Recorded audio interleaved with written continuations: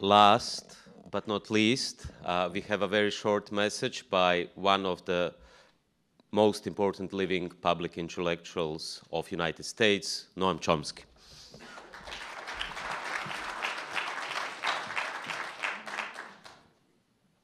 Our message for today is quite simple free Julian Assange.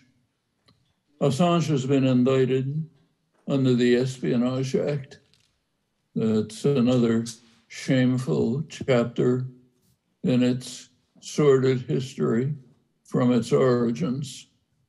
Should be stricken from the books.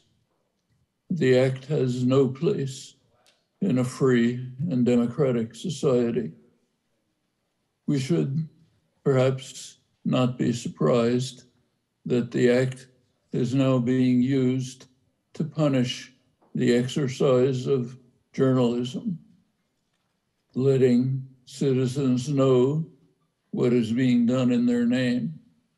It's an unforgivable assault against the majesty of the state the crime of the indictment under this disgraceful legislation is compounded by the years of imprisonment and torture that Julian Assange has already suffered. The targets of the indictment, however, reach far beyond their immediate victim.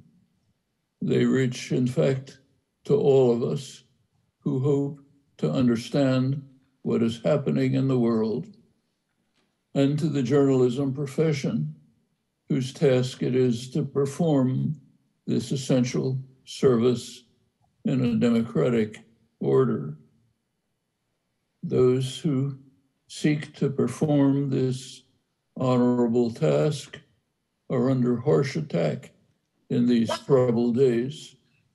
That's more reason to assure the attack on journalism will not be joined by the most powerful state in human history.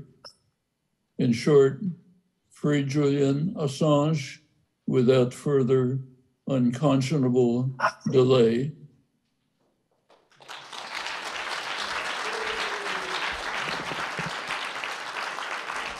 I have never heard Noam Chomsky be so concise.